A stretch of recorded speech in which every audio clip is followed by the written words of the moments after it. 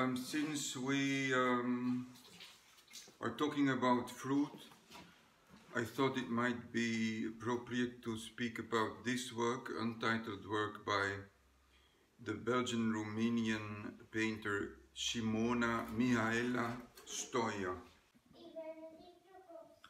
I think one might say that this evocation of a fruit tree consists of very vigorous brush strokes, bold brush strokes.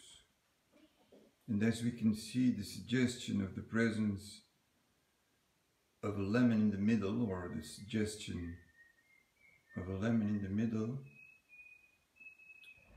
is repeated in other instances in the painting, but where the suggestion is less, where this, the lemon in the middle contains a shadow part at the right side and then a lighter and lit part on the left side.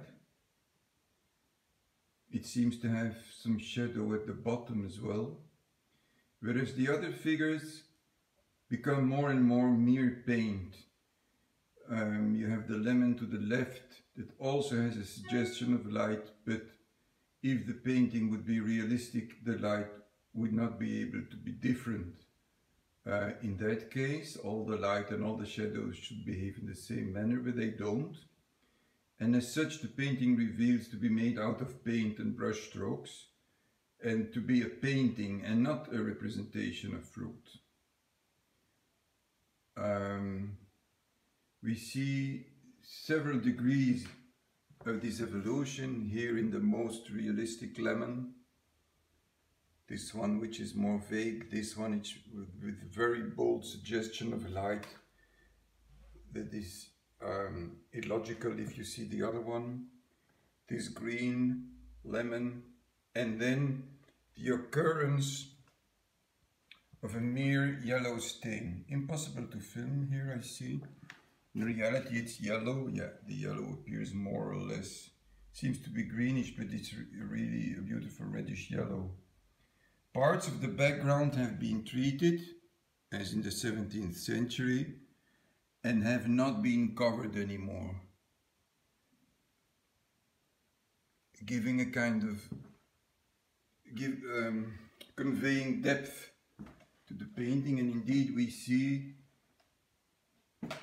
an illusion of depth and a play with the illusion of depth in paintings using merely green with some purple shadow parts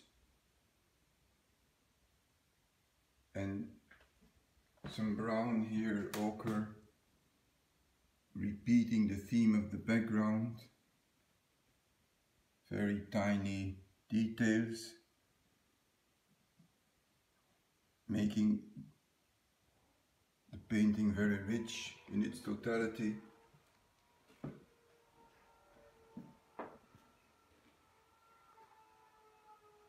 Simona Mihaela Stoia